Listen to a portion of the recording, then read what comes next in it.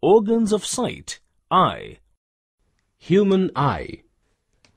Eye is the most valuable and sensitive sense organ and a natural optical instrument.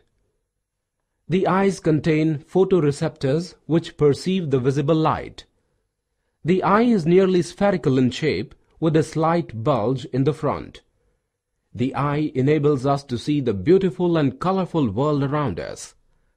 Let us discuss about the important parts of an eye and its functions.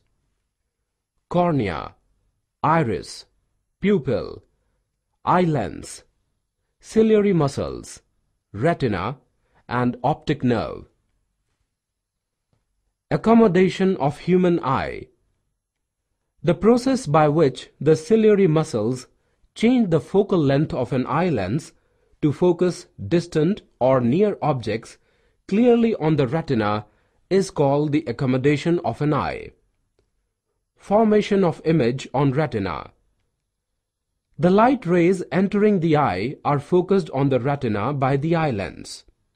A real and inverted image of the object is formed on the retina.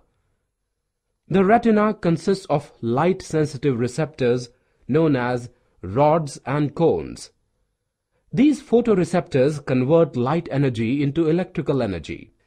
These electrical signals produced by the retina reaches the brain by optic nerves.